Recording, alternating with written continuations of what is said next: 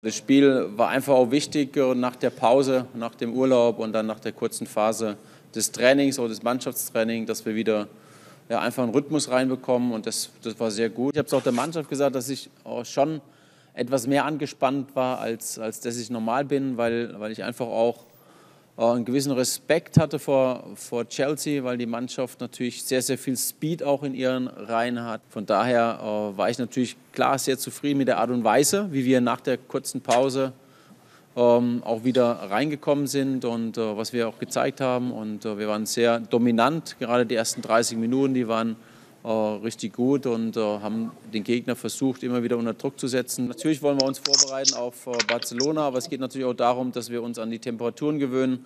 Äh, es ist ganz wichtig und äh, da deswegen haben wir auch genutzt, dass wir, dass wir frühzeitig auch äh, nach Portugal fliegen. Das wird morgen Nachmittag sein. Also wir haben heute nach dem, nach dem Spiel schon Regeneration und nochmal eine Trainingseinheit gemacht, weil wir morgen früh einfach auch haben wollten, dass die Spieler bei ihren Familien einfach nochmal oh, Zeit haben, auch zu frühstücken, Mittag zu essen.